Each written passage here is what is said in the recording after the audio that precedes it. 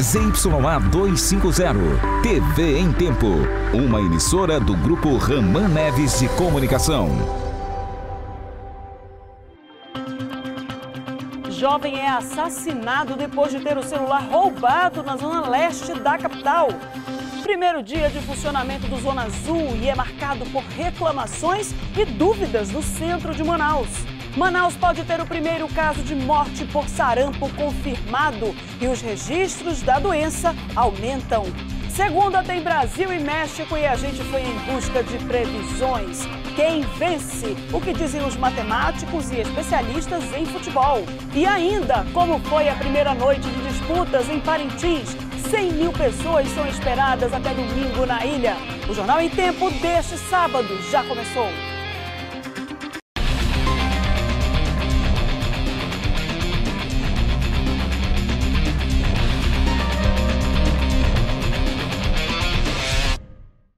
Olá, boa noite.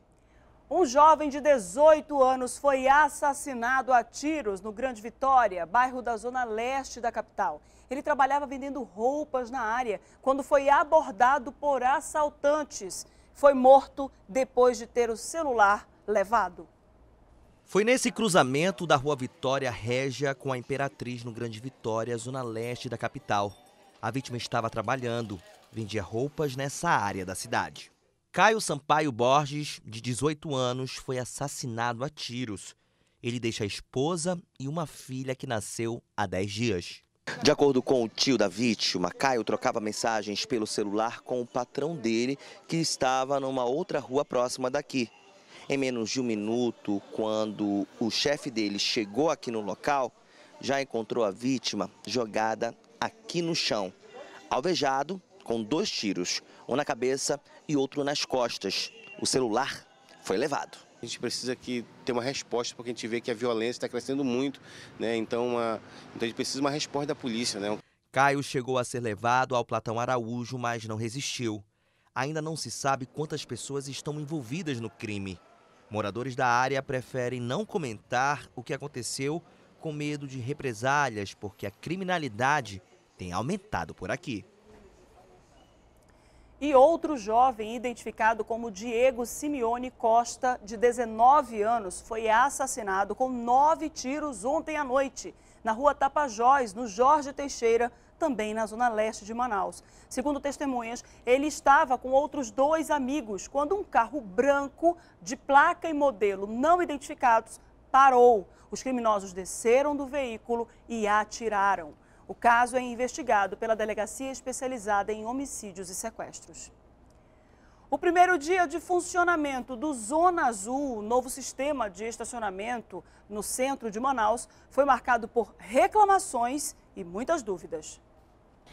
Às 8h30 da manhã, quase todas as vagas de estacionamento na Avenida Eduardo Ribeiro já estavam ocupadas. Alguns flanelinhas permaneceram no centro e reclamaram da falta de informação sobre o Zona Azul. E nós estamos aqui, Deus nos acuda aqui, né? Cada um que tiver sorte agora, mano, vamos levar menos dinheiro da, da comida para casa, porque vai ficar ruim para nós. O primeiro dia de funcionamento do sistema Zona Azul aqui em Manaus foi marcado por muitas dúvidas. A maioria dos motoristas reclamou da falta de monitores. Eles não sabiam quem procurar para efetuar o pagamento da taxa de estacionamento. Tem ninguém para atender, só isso. Não tem ninguém, uma moça só. Olha o outro lado, ninguém, só isso. Segundo o diretor operacional do consórcio que administra o Zona Azul, 40 monitores trabalhavam no centro. O contrato solicita um monitor para cada 100 pessoas, 100 eh, vagas, perdão. Nós estamos com o dobro, é, tivemos algumas baixas de efetivo nessa semana é, e estamos em novos treinamentos. Esse motorista conseguiu fazer o pagamento da taxa de R$ 2,45 que é cobrado por hora. Aparentemente está tranquilo. Cheguei agora aqui, consegui pagar direitinho. Cheguei nesse momento já fui atendido. Não tive problema até então, né? Vamos ver aí como vai ser a evolução aí. Agentes de trânsito faziam a fiscalização no local. Quem estacionou na mesma vaga por mais de três horas ou parou em local proibido teve o veículo guinchado. E haja reclamação. Ninguém fica só duas horas aqui, sempre tem alguma coisa para fazer, ou até mesmo o pessoal que trabalha aqui na, nas redondezas. O estacionamento na área do Zona Azul só é liberado depois das 18 horas e aos domingos também. Moradores do centro têm direito a uma vaga gratuita por residência.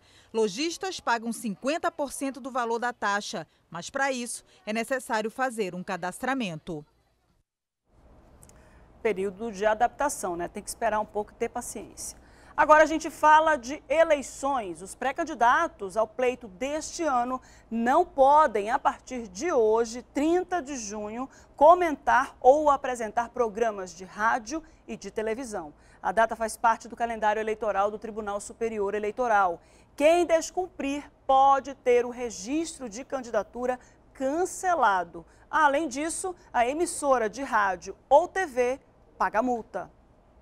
Daqui a pouco, Secretaria Municipal de Saúde aguarda laudo sobre morte de criança com suspeita de sarampo na capital. E ainda nesta edição, os cálculos e as previsões de quem arrisca o placar para Brasil e México na segunda-feira. É já já.